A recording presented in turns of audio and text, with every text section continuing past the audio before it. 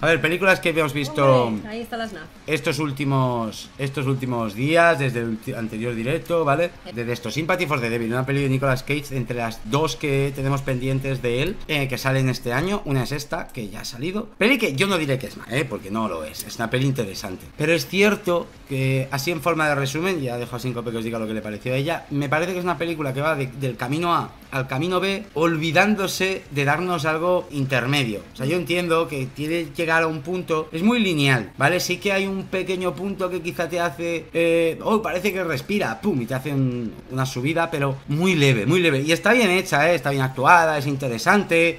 No está mal, no es no es Willis Wonderland en ese sentido de querer hacer una tontería Nicolas Cage, sino que realmente pretenden hacer algo interesante. Sí, Nicolas Cage no hace de todo. Pero se vuelve muy plano. No hace del todo un papel serio, pero tampoco hace ese papel demasiado desenfrenado y demasiado loco, aunque sí que tiene un par de escenas en ese sentido, la verdad, que a mí me hicieron bastante gracia dentro de todo el lore y del contexto de la peli. El otro prota lo hace bastante bien, es como si fuera una road movie, donde estos dos protagonistas van, est- están casi todo el rato en el coche, como dice Rotten, del punto A a un punto B que no tenemos muy claro cuál es y que poco a poco en la película se va revelando y que por lo tanto se va revelando cuáles son las intenciones un poco de que estos dos se, ha- se hayan encontrado en el coche. Pero esa resolución, esa batalla final, ese punto climático no termina de llegar nunca No. y acabas la película con la sensación de, ah, vale, pero esto...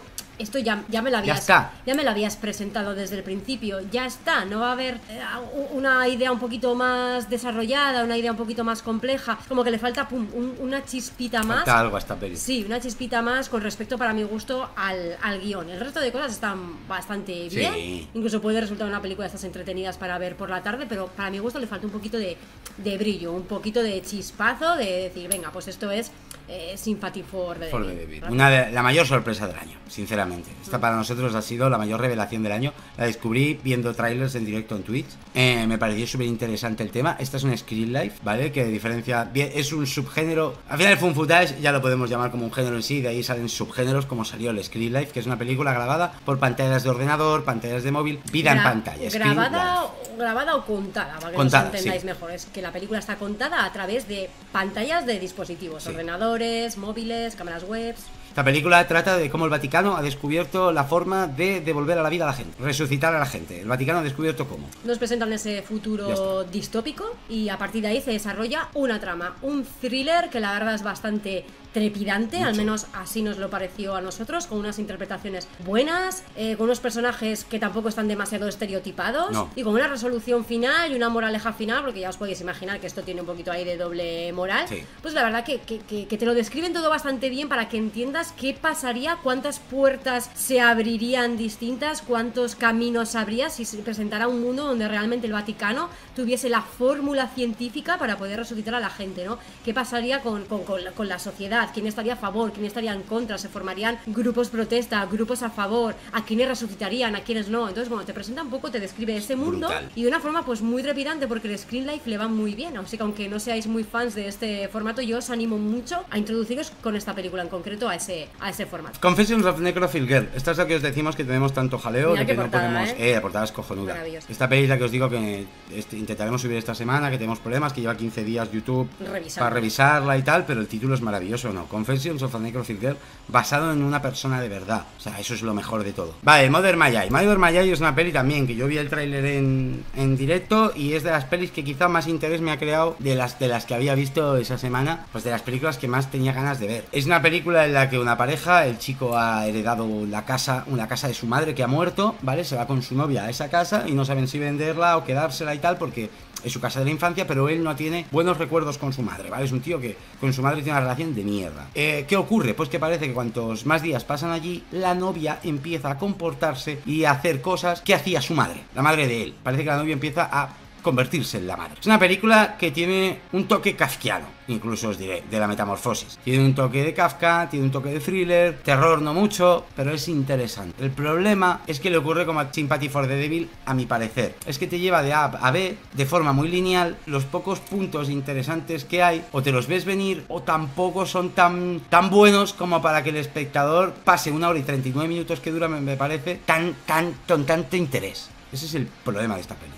A mí, mira, sin embargo, te voy a contradecir en algo. A mí sí que me parece que es una película como muy profunda y muy, muy, muy compleja que aborda quizás hasta en exceso la psicología de los protagonistas. Tanto, tanto, tanto, que el final te quedas un poco como. Es como poco satisfactorio. No sé si es algo positivo para la película o no. Para nosotros, yo como espectadora, la, verdad que me dejó con ganas como de. Como, como que no terminaba de, concluir. Tuve una sensación muy rara con esta, con esta peli. Es como, es como que es incómoda, trata de ser perturbadora, pero no lo llega a conseguir del todo, a pesar de que las interpretaciones son muy chulas y todo este rollo de la premisa de que ella se va a convertir en la madre, joder, pues es bastante llamativo y como se presenta en la peli, pues eh, puede resultar incluso hasta terrorífico. Crea mucho hype esta peli, pero luego es como que no es para tanto.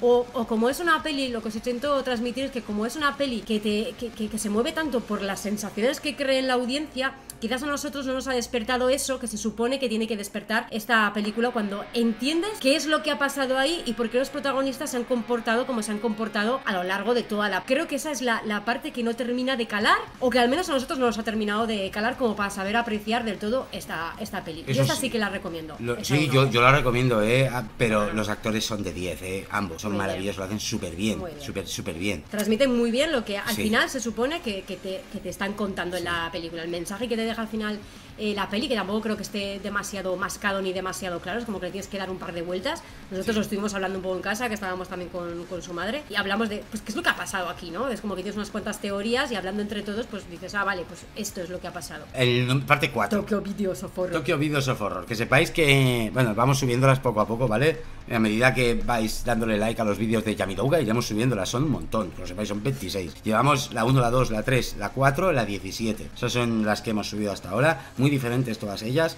Esta, la cuarta parte, creo, sin temor a equivocarme, creo que es la, la que tiene los títulos, la que tiene los vídeos más interesantes, más misteriosos, pero no tan terroríficos.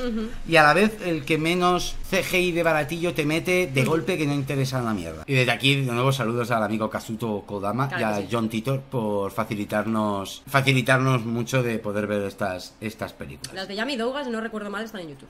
Sí, sí, está en YouTube. The Deep Web Murder Show. ¿Eh? Pinta que te cagas. Yo vi este título y corriendo me la descargué. Dije, ¡buah, qué bueno, tío! Y vi este póster y dije, ¡buah, voy a cojonar a cinco Viste película de cámara en mano, ¿vale? De la Deep Web, donde vemos las víctimas, la camarita que llevan las víctimas secuestradas con el típico chat de la, de la Deep Web o de la Dark Web, ahí chateando, sí, kill, mátalos, tortúralos, oh, qué peliculón. Una basura, eso es muy mala. Los efectos se, lo cortan cuando van a matar a alguien, cortan no solo de que corten a la persona, sino que cortan el plano, no te dejan verlo, eh, la trama es bastante chorra y tonta.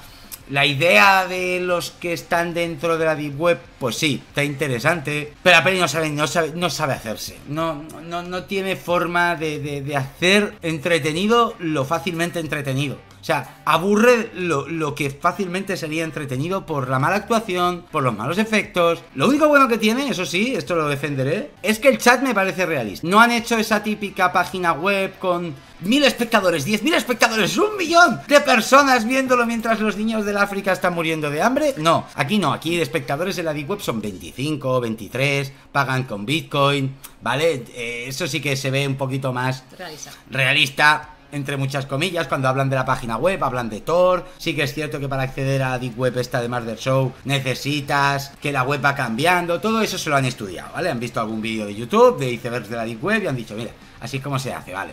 Hasta ahí lo compro. Pero el resto es bastante torpe, la verdad. Poco que añadir. Aparte de que no me acordaba y acabo de caer ahora mismo cuál era, porque la había borrado de mi mente. acabo de caer que era la que salía mi amigo, el protagonista de Rampage. El Brendan Fletcher.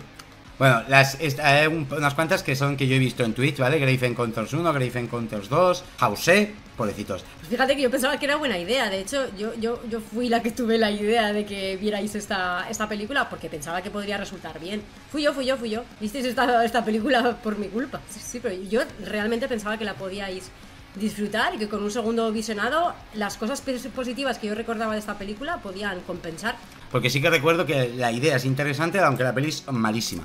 las, interpretaciones eran horrendas. Eso sí que nos acordábamos que era horrendo, insoportable. insoportable. Pero yo tenía en la cabeza que, había alguna cosa que era como, pues la idea está bien. Web no sé si, como aún no hemos subido el vídeo, no sé si quieres yo, la, yo que la pasaría por alto. De Willow Creek tenemos, tenemos ahí el vídeo que va sobre el Bigfoot. Es una película que ya habíamos visto, pero que recordábamos simplemente a una pareja en la tienda de campaña. Que ¿Y tiene, por- por qué gran y, eh, motivo? pues, tiene, tiene sentido porque recordábamos solamente eso. Y, y bueno, que tiene cosas positivas, cosas que no están del todo bien hechas, pero que en general, bueno, y que es un, un relativamente bien hecho. Básico, ¿eh? Básico y súper y súper normal. Pero bueno, los protagonistas lo hacen de forma natural, parecen espontáneos. Yo, yo si os gusta el, el, el tipo de películas de Bigfoot y demás, pues bueno, habla, que te Enfa- con la cara ahí de compungido, digo, a ver. Enfatizo. De- Es un footage, pero Claro, no. Claro, Es claro. cámara en mano. Claro. ¿Vale? Al final no, no encuentran las cintas. Nadie encuentra las cintas, ni. Y lo que hablamos un día, lo que hablamos tú y yo No en el sabía vídeo. explicaba eso, por eso estaba recordando. Hay momentos que ellos están grabando, pero no están grabando, simplemente tienen la cámara en la mano. Sí que hacen lo de apagar, encender y tal, pero hay momentos que es un. Esa cámara no tiene ningún sentido que esté grabando, porque simplemente la tenéis puesta ahí.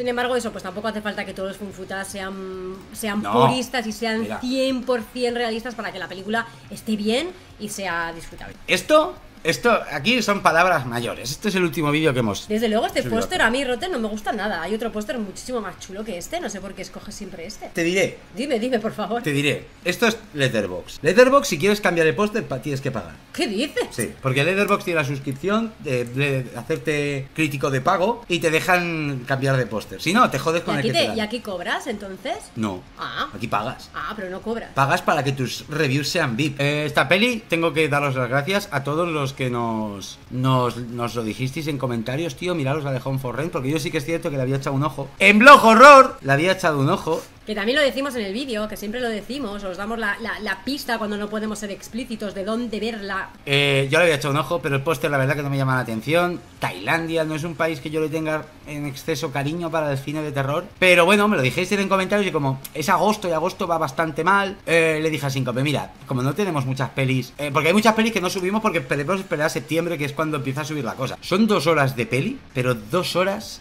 pero de las mejores que me lo he pasado este año. Una película de verdad que va a estar en mi top porque me sorprendió todo lo que vi de ella. No me esperaba nada. Basada en un caso real, ¿vale? Que esto también tengo que avisaros. El caso real es una noticia. O sea, estuve investigando un poco de qué es el caso real de esta historia y es una noticia. El director vio una noticia y basó la película en una noticia. O sea, ni siquiera en el vídeo hemos, No. hemos mencionado nada del caso real No. porque es, es de esas cosas que, ah, bueno, bueno, una noticia y, me- y hago una película. No está basada en hechos reales y no sé ni si se podría interpretar que caído, está inspirada. Eh, Bigfoot Trap, ¿vale? Peli estrenada 2023. Una película que, de verdad, es para recomendar. Pero, ¿qué problema hay? Que es una película que quizás a día de hoy en el canal no sé, pasaría demasiado desa- desapercibida porque no es una película de terror del todo, ¿vale? Es una película, es más profunda de lo que el póster parece. Es una película de un chico, ¿vale? Que trabaja para una empresa, una editorial, que él graba vídeos, eh, mm, ¿cómo decirlo? Intenta hacer periodismo viral, periodismo de clics. Esto lo vimos también hace poco en otra película, que no me acuerdo cuál era. Periodismo de clics. Y el tío se le ha viralizado un vídeo donde se ríe de una terraplanista. Hay una señora terraplanista, él le, pega un vacile, así porque sí, y el vídeo ese se les viraliza. Así que la editorial quieren que vaya a conocer a un señor que ha montado una trampa para Vic, ¿vale? En pleno, en el bosque. Y quieren que vaya a, a verle, a, a entrevistarlo, a grabarlo, para luego, pues, tener muchas visitas riéndose de un chico que cree en el Bigfoot. Más interesante de lo que la premisa o el póster te pueda, te pueda mostrar. Yo voy a ser sincera, yo vi la primera, la primera secuencia y dije, madre de Dios, qué aberración. Porque el, Bigfoot que se veía parecía un señor disfrazado. O sea, ho- horrendo, ni terror, ni nada, todo oscuro, una escena mal, construida, la poquita sangre que vi también me pareció chichinabo, o sea, mala calidad, por decirlo así. Y después la peli, pues, te- tiene unos protagonistas bastante entrañables, que te caen bastante bien, y dices, bueno, pues una trama básica, de lo típico, de uno intentando demostrar es, Gracias, existe, y el otro intentando captarlo con la cámara, eh, varias discusiones de me crees, no me crees, bueno, pues eh, la- la- el, típico, el típico patrón. Y a mí solamente esta película le veo el póster y me sale una sonrisa por el final. Reconozco que el tercio final es lo que más me gustó de toda la película, porque tiene un mensaje que dar, un mensaje que creo que es bonito, o al menos en la película, con los personajes que está contado, me resulta bonito y no y que sea y que digamos bonito no tiene por qué ser un final un Pomposo, final, ñoño. exacto ni romanticón No, ni no, nada de eso Es- simplemente es un final que no que no esperaba que fuera por ahí que tuviese un poco más de profundidad adulta que lo que la peli parece para mí la peli no es la gran cosa es entretenida y sin más si la destacaría por algo es por los protagonistas por los personajes, quiero decir. Entonces yo recomiendo verla pa- para ese final, para ver si sentís esa pequeña emoción, esa cosilla que al menos yo sentí de, ah, qué chulo. Esta- las dos siguientes son muy rápidas porque ni siquiera las quitamos, ¿vale? Ahora vamos a poner dos películas que quitamos directamente, ¿vale? Os lo digo. Esta era la película, la tercera película en tendencias en Netflix en España. Yo solo leí, no leí todo esto, ¿eh? Yo no sé ni que era en catalán. O sea, era una película en Escape Room. Veo ¿Otra que, más? Veo que está el tío del hoyo, veo que está Joel Joan, que yo este actor lo conozco por una sitcom catalana que se llama Plats Bruts. Vamos a verla, si es la número 3 en España y como os hemos contado antes, queríamos intentar atraer un poco más al público de España. Y al final, bueno, es Escape Room, ¿no? Que bueno, que ya Escape la, premisa te puede permitir hablar de determinados juegos, de determinadas trampas, ¿no? En ese sentido para nosotros es bastante fácil de estructurar un poco la reseña. Y hace poco hicimos también una mexicana que se llamaba Solo puede quedar uno, que también era un rollo escape room, también de esto. Y no fue mal el vídeo, y en realidad la peli estuvo interesante hasta el final. Pues dijimos, oye, pues quizás estamos en las mismas. A ver, esto es una- algo para los, sobre todo para los catalanes que estéis en la audiencia, que conozcáis a Joel Joan. eh, que yo le dije a ella lo primero, digo, hostia, Joel Joan haciendo una película española me extrañaba mucho. Este chico no sale de, de todo lo que sea producción catalana y todo esto, no sale. Pero claro, es que la peli es en catalán, yo no lo sabía, se me hizo tan raro, porque claro, tengo los subtítulos puestos, porque yo sí que lo entiendo, pero ella no. Pero es increíble ver una peli que entiendes, pero no podía dejar de leer los subtítulos. Fue una rayada entenderlo y leer. La peli, ahora leo que está basada en una obra de teatro. Sí, ahora lo entiendo, porque es que la peli está teatralizada que te cagas. Demasiado, o sea, para mi gusto. Teatralizada que te las, cagas. las, las interpretaciones están muy exageradas. Ahora es que viendo, claro, que es que está aún más orientada al teatro, pues igual se entiende un poco más. por Y que es una comedia, porque en Netflix ponía terror, no ponía comedia. Es que todo esto lo estoy viendo ahora, yo esto no lo había visto. Exactamente el mismo personaje que los que conocéis Flash Brutes, es exactamente el mismo, es exactamente igual. Actúa como si estuviera en una obra de teatro, es un personaje que mm, no, no, no, no, si fuera una obra de teatro actúa bien, pero en una película no se puede actuar así porque queda raro, queda extraño. Los personajes son insoportables, Todos. pero, pero insoportables. En 10 minutos de película los diálogos son Forzado. insoportables y forzados. Y son diálogos hechos para que les dé la subvención para hacer la película, ¿vale? Porque si miráis qué necesita una película para que te den una subvención en España para hacerla, cumplen todos y cada uno de ellos. Con eso, ya cada uno que investigue lo que estoy intentando decir, ¿vale? Porque es que absurdo por todas partes. Se la parlar? Perdó, perdó. Digues, Marina, de què, de, de què dones classes? D'enginyeria matemàtica avançada. Collons! Ja A, a veure, a veure, un momentet, és que no, no, no sé si t'he acabat d'entendre, eh? Estàs dient que no només et sorprèn que una dona pugui ser guapa i intel·ligent alhora, sinó que a més a més et sorprèn que el teu amic s'hagi pogut lligar una dona així. Volia fer un compliment a tots dos, està? Totes dues. Eh? No, que no sé si t'ha arribat, però ja no acceptem imposicions lingüístiques heredades d'una societat masclista. Que n'estem fartes de la dictadura del patriarcat lingüístic. Que sóc un sexista de merda, jo, perquè no ho soc. No, no. Al contrari, soc superfeminista. Súper, súper, súper, ¿no? Que te diga Vicky, cariño, ¿no? No, no, ya te aseguro que yo no podría estar muy masclista de mierda. Sí, cuando vimos que el villano de la película era un nazi, ¿eh? Digo, oh, ya, ya, el, el cliché que faltaba. Madre mía, Fuera. de verdad. Entonces dijimos, pues vamos a ver Little Mayai, que también... hace- Little Mayai. My Little Eye, Little Mayai, como My Little Pony. Esta peli nos habíais dicho un montón de veces, Mi Little Mayai, el My Little Eye, yo esta la conocía del videoclub, creo que la vi en su momento. Uno de los actores es el gótico de Destino Final 3. Entonces, bueno, digo, pues está bien, encima va de un grupo de, chavales que tienen que están en un reality show, que tienen que estar seis meses encerrados en una casa para ganar un millón de dólares. La única condición es que tienen que estar los seis o los cinco todos los seis meses allí. Si uno de ellos se va, pierden todos. Es como un gran hermano, ¿vale? En los 2000, 2002. Aparte que se ve como si fuera del año 91, o sea, se ve con el ojal del culo. O sea, se ve muy, muy, muy mal la película, se ve muy mal. Se ve vieja. Se ve vieja. Se ve vieja, siempre vieja. Uf, qué vieja se sí, ve. vieja, perdón. Qué vieja se ve. Pues si dura hora y media, vimos media hora, ¿vale? Qué lenta, qué coñazo, qué mal explicado el paso del tiempo. Se supone que pasan los seis meses en los cinco primeros minutos de película. Actúan muy mal, los diálogos son súper tontos. Y el conflicto un poco que presentan, que bueno, claro, como no llegan llegamos a concluir, igual luego pegaba un giro del copón y era súper interesante, no, no llegamos hasta ahí. Pero el conflicto que, que presentan, pues tampoco es nada otro mundo, es como que parece que, pues que los organizadores de esa casa o alguien eh, les está tendiendo una trampa en el sentido de que están trayendo a la casa cosas que le relacionan con traumas o con errores que cometieron en su pasado, algo que ya también pues hemos visto 25.000 veces con los mismos perfiles de personajes igual que aquí y que la verdad que tampoco nos llamó mucho la atención como para seguirla. Ya os digo, igual ahora nos decís, no, pero es que eh, a partir de ahí es cuando la peli mejora y cuando la peli se vuelve pues, una bestialidad. Pues lo siento, pero no, pudimos soportarlo. Después de media hora fue vamos a quitar esto.